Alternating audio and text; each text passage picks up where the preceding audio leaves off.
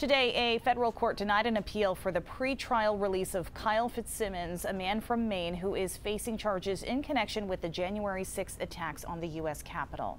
This video was released by the courts earlier this month. In it, Fitzsimons can be seen attacking U.S. Capitol Police while a mob of rioters were attempting to enter the Capitol building on January 6th. Fitzsimons has pleaded not guilty to 10 felony counts, including assault on a federal officer.